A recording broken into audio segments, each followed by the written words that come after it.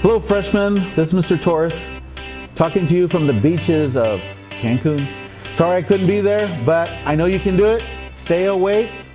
I know you can do it. Motivate each other, and I can't wait to see you when I get back. Take care.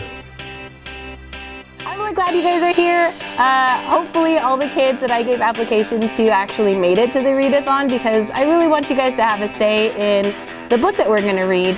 Uh, hopefully you pick a good one because I'm going to have to read it too. That'd be great. Uh, thanks for being here. Keep it up. Uh, are we going to offer coffee? No? Okay. Uh, hot chocolate? Juice? Something with sugar or not? But keep going. Yay. Hi kids, this is Miss Cole. I hope you are enjoying your books. Those books will take you places you can't go in real life. They will take you places you can go.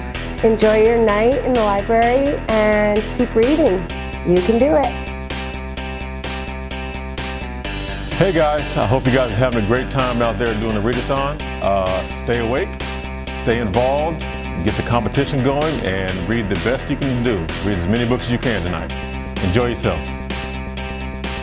Hello, Warriors. I'm so proud of you for being involved in this readathon. Reading is a great opportunity for you to learn and to experience so many different opportunities. So keep on reading. I'm so happy to know that we're having this and I can't wait to hear about all your experiences when we get back from break. Go Warriors!